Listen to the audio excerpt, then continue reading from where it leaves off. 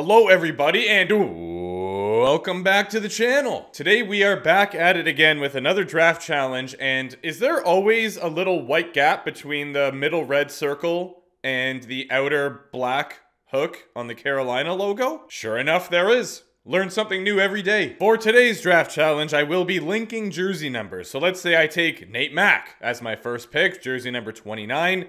That means the next player either has to be number 9 as a single digit or in the 90s. Let's find out which team we will be drafting on behalf of. It is the Arizona Coyotes. We're going to be playing out of a university or college or whatever. Yes! No owner telling me what to do. Fantasy draft will be on. Jabroni, absolutely not. I think I'm going to have draft pick number 17. Let's see how wrong I am. Oh wow, come on now. The only redeemable quality about having a pick this late is that during the rounds that you do have the late pick, there's only four between the first and second. So it's a little bit easier to plan two picks together without having to worry about the other player getting taken. You know what?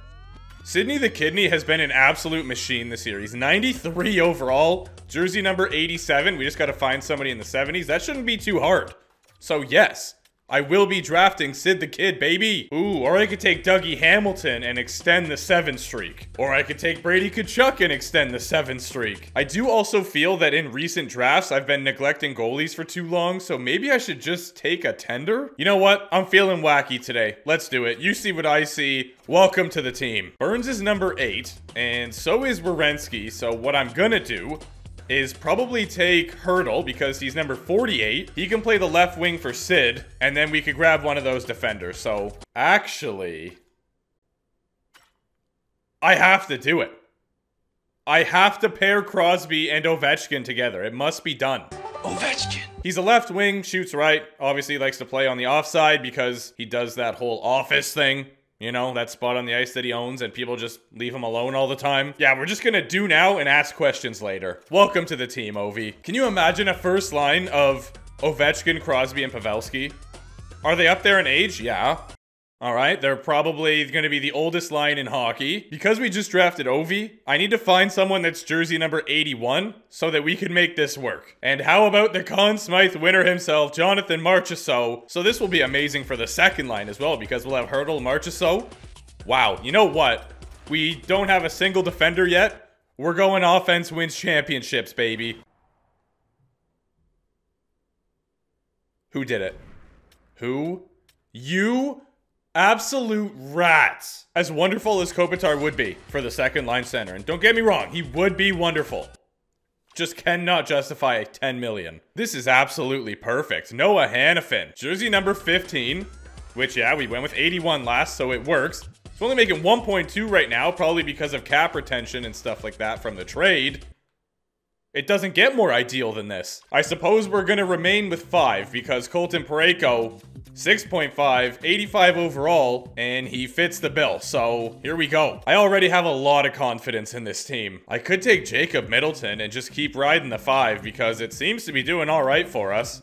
Another defenseman? Why not? Okay, so Rantanen is a bit of a unique situation I did not account for because he's jersey number 50. So what do you do with a zero? And my first instinct is that we just have to draft a single digit. So anybody with a number below 10, essentially. And you know what? That seems fair to me. So let's go with Raanta and go by that logic. We could definitely get some second line goal scoring from Eberle here. Jersey number seven, let's sign him up. Still 31 mil of cap space too. That is surprising to me for some reason. But Jake DeBrusk, jersey number 74, will be the next selection. Followed up by number 48, Matt Grzelcyk. Note to self, we need to get right-handed defenders because we have three lefties at the moment. Jan Rutta works, 84 and making 2.7, so that should be a good fit for us. Let's get it done. I'm just going to close out our defense with Justin Schultz, right-handed defender, jersey number 4, and that way we just have to draft our third and fourth line. Sounds like a plan to me. 17 mil left. We could probably make this work. Kasperi Kapanen, yeah, do it. Ask questions later. And JVR number 21 on a very team-friendly deal. So that is a perfect find for us. Number 19, Jonathan Toews still has 92 faceoffs. We are going to win the Stanley Cup. Like, it is just set in stone. Just give us the trophy already. Seeing as our cap space is really working for us in this situation, I'm going to go with Ryan Johansen because he's got 85 faceoffs. As a fourth line center, we're chilling. Another insane contract that we can afford. Anders Lee, jersey number 27, making 7 mil and he will be on our fourth line, or maybe third, who even knows? And with our final manual selection of the draft, we will go with Jesper Fast. Look at this team. The only potential downfall, and the only thing I could see that is like, well, is that our highest overall defenseman is 85. But I still feel like the core as a whole is really, really solid. Are you kidding me with this team? Well, how's about we go put the lines together and see what the chemistry's looking like? The regular season is upon us. It is time to edit the lines and see what Arizona is looking like for this season. Okay, plus three on the first line and that's it. A little bit shocked, I can't lie. Or with best lines, we get a plus one here. I think I want Anders Lee to be moved down though, because he's a power forward. DeBrusk is a sniper, so I'd rather him be up. Aren't you a sniper as well? Okay, so we could do that. Anders Lee could still be on the fourth line. And I got a crazy one for you. If I move Eberle up, it becomes a plus five, and this becomes a plus one. So I believe I'm gonna do that. Ooh wee! I am perfectly fine with this offense. We got roll four lines, which is going to be splendid because our fourth line will get the job done. We should have one of the highest face-off winning percentages in the league because we got Crosby with 88, and then we have Hertl with 87, Jonathan Toews with 92, and Ryan Johansen 85, but, you know, it's still pretty good. Now, I know our handedness is okay for defense, but let's see what the chemistry is looking like. And oh my goodness, we are not winning a single game this year. Okay, that helps. Call me crazy. Which, you know, you probably already think I am. But I'm moving Parayko down so we get a plus two, a plus one, and then this dash one will just have to be here, I guess. And finally, we've got Juuse Saros as our primary goaltender with Arizona legend, Antti Raanta, backing him up. My prediction is that Crosby gets the most points with 93, his overall. And I say our team gets 49 wins and we make the playoffs. So, Let's get the simulation started. A little bit of a slow start here. Not gonna lie to you. The division is really close at the moment, so hopefully we start to see some separation soon, but not in this way. Can we start winning hockey games, please? I literally don't believe what I'm seeing. I do not believe it. Hold on. Hold on! Timeout!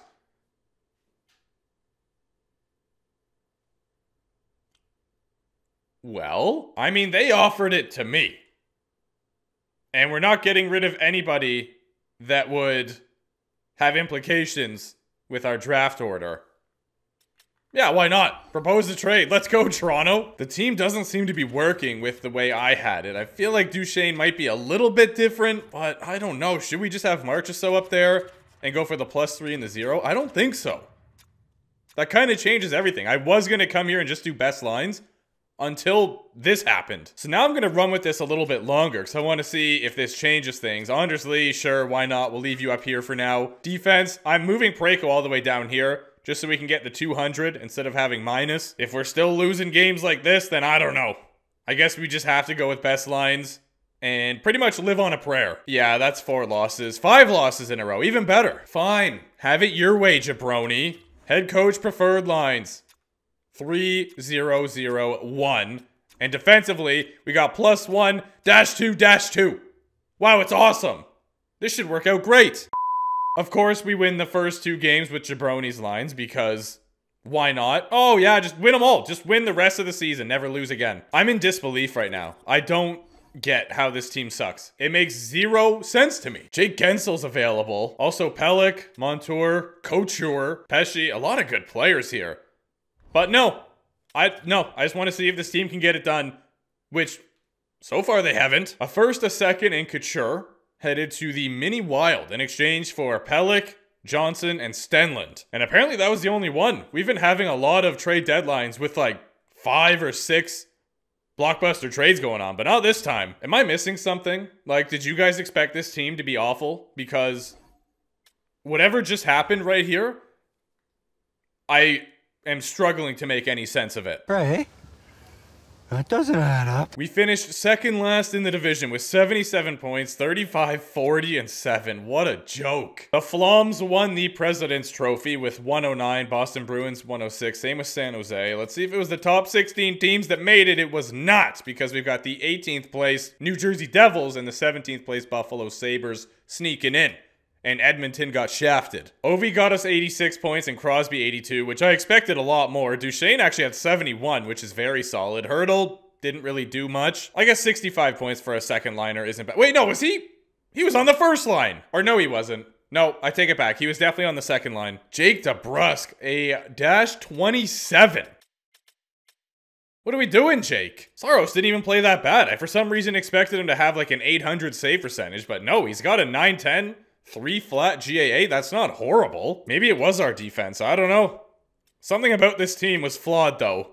And the only thing I could think is defense. Jake Oettinger with 46 wins. He had a 908 save percentage and a 301 GAA. See? Juuse Saros had better stats than him. I mean, barely, but better is better. Holy smokes, Erik Karlsson had himself a season with the Seattle Kraken. Nearly 110 points. He could possibly have an Art Ross, but he won't because McDusty got 118 with the Mighty Ducks. So only one player beat him out. That is insanity. Malkin 106, Stamkos, and Rantanen 102. Patrick Kane had 49 goals, so no one got to 50 this year. What a weird sim. Tanner Jeannot with the most fights. Foligno, 18. I'm pretty sure these guys must have just fought each other a bunch. Sprong had the most game-winning goals. That's a little bit surprising, but good for you. And then obviously these two had the most penalty minutes because, yeah, that kind of checks out with all the fights you were doing. Today's been one of those days where my brain is just not working. Like, I go to say something and then just freeze up or it doesn't get portrayed the way I wanted it to. So there's to be a lot of cutting out in this video. Calgary, Toronto, Stanley Cup Final, two Canadian teams. Bettman would never allow it. You absolute rats. Are you kidding me? I forgot Calgary was the team that took Pavelski from us, and they just won the President's Trophy, and now they're in the Stanley Cup Final? Also, what does this team have that we don't have? Huh? Tell me that. Let's look at their defense. Oh! They got a 79 overall on the second pair. And then 78.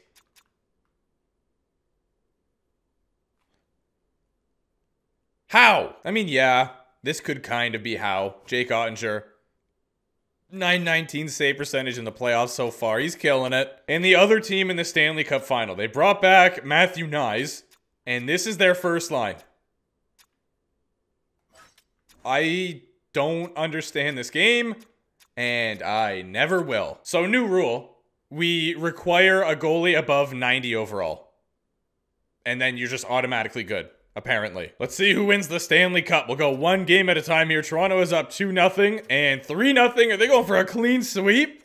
No, Calgary does get a W in there, but it doesn't matter because Toronto still seals the deal. Most likely your Conn Smythe winner, and someone that we almost drafted, Brady Tkachuk. Sorokin ended up with a 918 save percentage, Oettinger 917, so they both did phenomenal. Nothing really too crazy going on for defense here, except for Roman Josi with 17 points in 11 games. What a unit. Team awards, yada, yada, yada. No one cares. Individual trophies. The Art Hart combo is intact this time. Connor McDavid wins both. This is not surprising at all. 100% deserved. Gets the Norris. Lady Byng goes to Kopitar. Another player we could have drafted, didn't.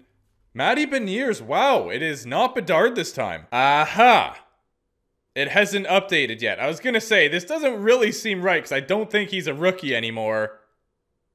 But I was kind of just going with the flow. And then I saw this. I was like, well, no. Because you know the whole glitch with Be a Pro where you could win the Calder in like year 10, stuff like that. So, I don't know. Anyway, I guess we need to have the official pop up announcement that Toronto won the cup. Okay. Now we should be chilling. It goes to show you how much I pay attention to the team awards too, because I just went, yeah, yeah, yeah, whatever. Team awards. Connor McDavid did still get the Art Hart combo, but it was with the Ducks. And EK65 did still get the Norris, but with Seattle. And he also got the Lady Byng.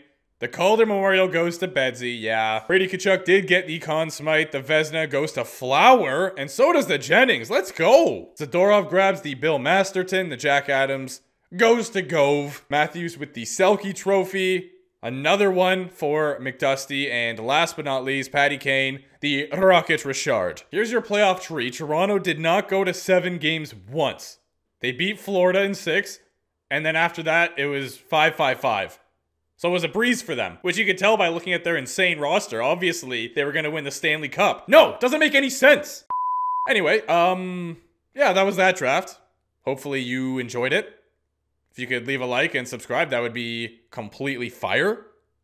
Just like the back of the sea on Calgary's logo. Appreciate you guys as always. If you have draft ideas, suggestions, etc., comments down below. Let me know if you thought this team was going to be bad for some reason and I missed something, or if the simulation engine is just wildin'. On that note, I'll see you soon.